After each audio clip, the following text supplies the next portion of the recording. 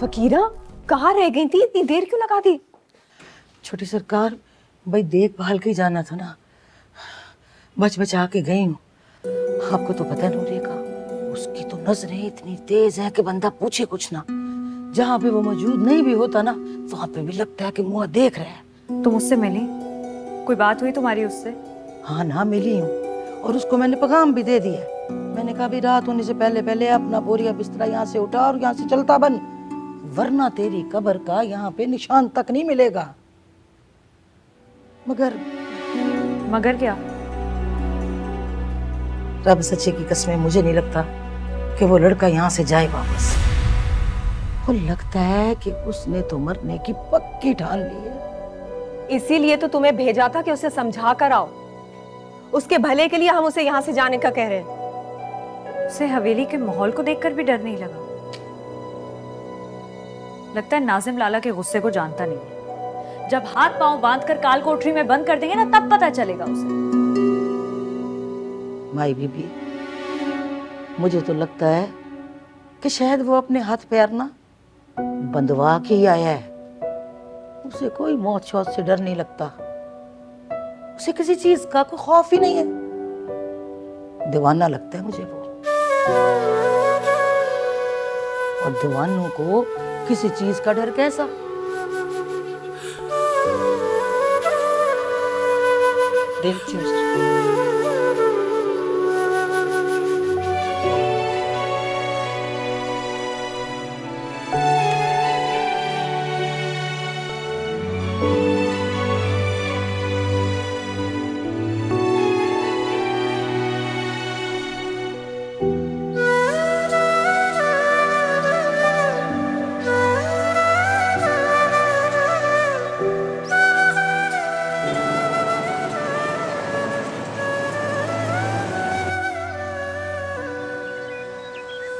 लगता है शहर में रह के तूने तूने वक्त जाया नहीं किया लड़के।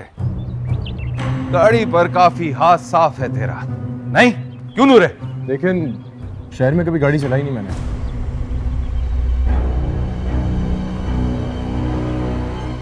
हाँ बता शहर से दूर जाते थे कार रेस पे। वहीं पे शौक पूरा किया मैंने।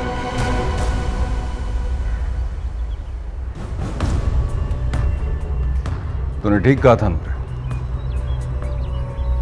लड़का अपने काम का जी। शाह कोई इनाम शनाम दो इसे। जी शाह जी।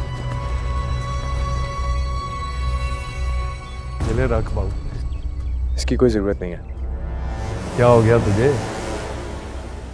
और छोटे शाह जी ने खुशी से कहा देने को। रख ले। आज से खास ड्राइवरों में से उनके लिए। और नौकरी पक्की हो गई तेरी। बंदा बड़ी मुश्किल से पसंद आता है उन्हें।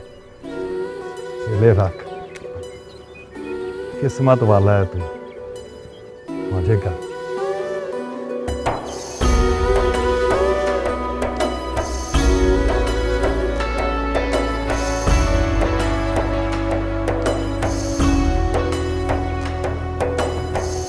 रिश्ता तो बहुत अच्छा है। तुम्हारी बाहर जाके पढ़ने की ख्वाहिश भी पूरी हो जाएगी। मुझे लगता है उन लोगों को कोई एतराज़ नहीं होगा।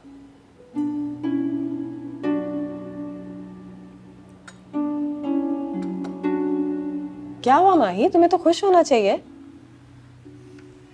भाभी मैं अभी मजीद किसी नई टेंशन को बर्दाश्त नहीं कर सकती।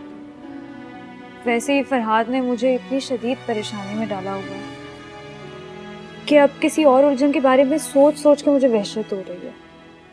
काश वो जल्द ही लौट जाए लाहौर ताकि मैं कुछ एक्साइटमेंट तो महसूस कर सकूँ इस रिश्ते के लिए। हाँ टेंशन वाली बात तो है। लेकिन हम कर भी क्या सकते हैं? फकीरा उसे अच्छा खासा धमका कर आई है।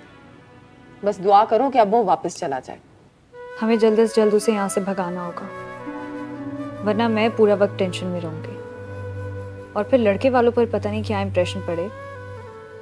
अम्मी को शक हो सकता है।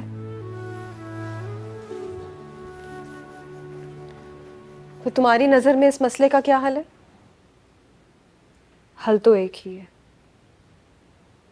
मन झूम झूम तन झूम झूम। मुझे किसी ना किसी तरह उससे खुद मिलकर उसे यहाँ से वापस जाने के लिए मजबूर करना होगा। जानती हो क्या कह रहे कैसे मिलोगी तुम उससे? वो भी इतने पहरों में? फरहाद बहुत जिद्दी लड़का है।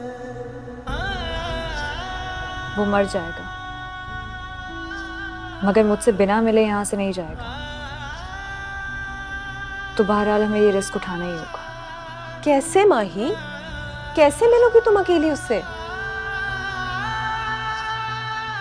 एक तरीका है।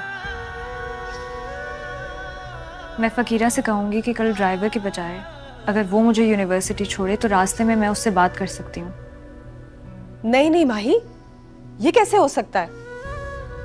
नहीं नहीं किसी ने देख लिया तो? और कोई रास्ता भी नहीं है हमारे पास भाभी। हम फ़कीरा को एतमाद में ले लेंगे।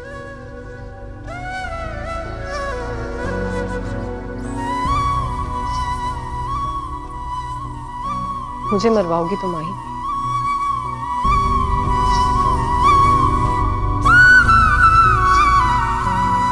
नहीं तुम अपने आप को क्यों उलझाती रहती हो?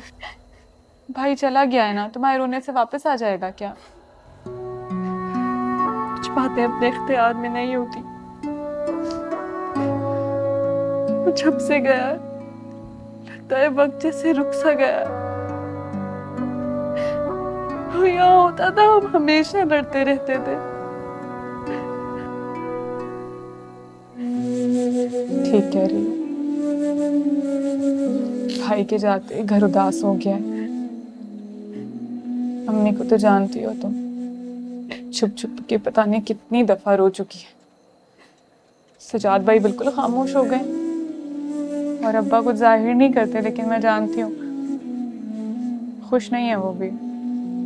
तो रोका क्यों नहीं उसे? ना जाने देते उसे। उसे मजबूर करते कि यही कोई काम कर ले। पता नहीं जब से वो गया मेरा दिल बहुत डरा है। जैसे कोई अनहोनी होने वाली है।